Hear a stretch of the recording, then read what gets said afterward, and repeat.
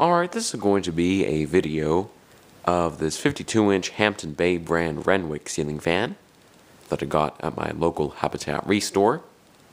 I got it because, for those who don't know, I'm actually a volunteer there, and basically what I do for them is refurbish ceiling fans, or see better nation, and make them more sellable and run better than how they previously came in.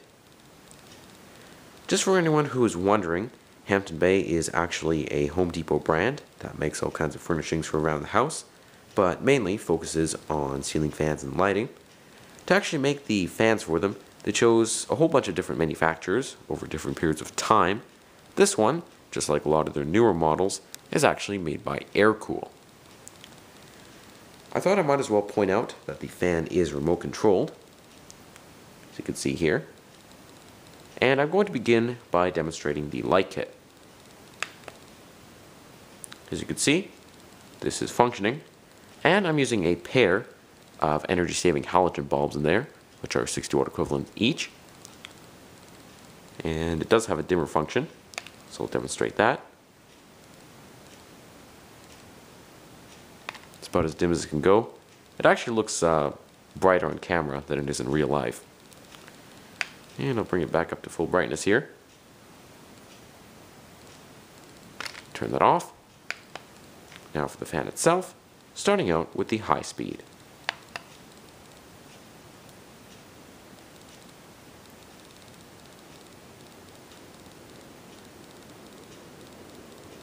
And if anyone wants to know the exact information about RPM, CFM, amps watts, the fan used on each speed, and that sort of thing, that can all be found down in the description below the video because Hampton Bay was kind enough to include that with the instructions.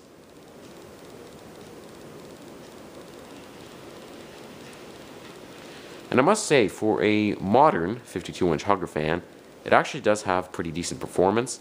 Uh, it's pretty quiet, uh, blows a decent amount of air, and it's also rather stable when it runs.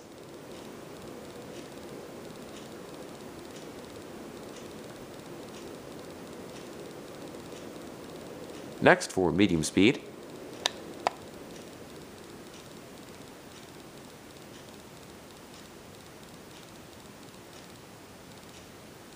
Medium does slow down quite a bit on the fan, uh, so in my personal opinion the speeds are a little bit disproportionate and uh, kind of off, but uh, I guess that's just how the fan was designed.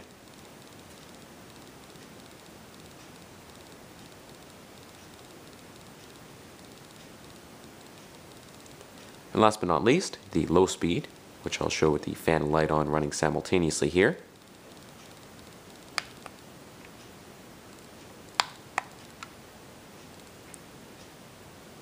The fan actually has a nice graceful low speed to it, and is a little bit slower than uh, some other modern 52 inch fans of today. Anyway, I'm going to turn the uh, fan light off here.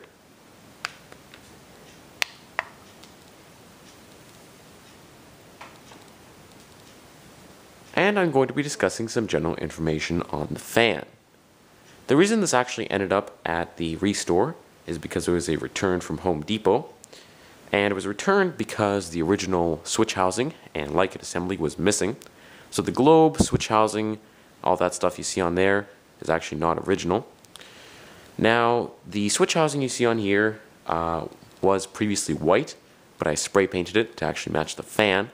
Now, it isn't necessarily an ideal replacement, because uh, you can see it's slightly smaller than the original one would have been, and also it has pull chains, but it's really the best I could do. And same goes with the globe, as you can see it's kind of small, but again, I didn't really have any better parts at the moment. And to finish off the video here, I'm going to be discussing the pros and cons on the fan, and what I would rank it out of 5 stars, beginning with the pros. I overall uh, quite like the look of the fan. Uh, definitely blends contemporary and traditional elements quite well, making it a transitional style fan. As you can see, the motor housing has a nice sleek design, uh, but also some um, traditional elements like the blade brackets and the light kit, so it's definitely a nice combination. Another thing is the fan is quite versatile because the blades are reversible. The side that's facing down now is the dark maple. the other side, which I'll show here, is apparently walnut, but to me it almost looks more like a dark pine, but I'm just going by what the box said. Anyway, I'll move the camera back here. Also, the fan can be installed with or without light kit. Currently, I have it installed with light kit because I think it looks quite nice, even with the smaller globe. But uh, installation without light kit is also an option. And besides the fan's good looks, it does also offer fairly decent quality, uh, as with a lot of air-cool made Hampton Bays. And also, performance is pretty decent as well, at least for the age of the fan. What I don't like, however, is it is a little bit awkward to assemble, uh, being this is a Hugger fan with remote control.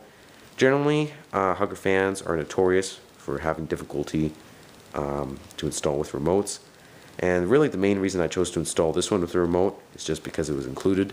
But um, if pull chains were actually an option from factory, and uh, the globe that you see on here was actually meant for that, I probably just would have um, ditched the remote as, uh, like I said, it's kind of awkward to install the motor housing. Um, but you know, overall it isn't too bad of a fan, fairly easy to assemble otherwise, and actually decent quality. So I'd probably have to give it 3.5 out of 5 stars. Not a bad fan for what it is. Probably would recommend it, uh, given that, uh, you know, it is actually better than uh, what Hunter is currently offering in a lot of their cheaper models. So anyway guys, thank you for watching. I do hope you enjoyed the video, and there's lots more to come.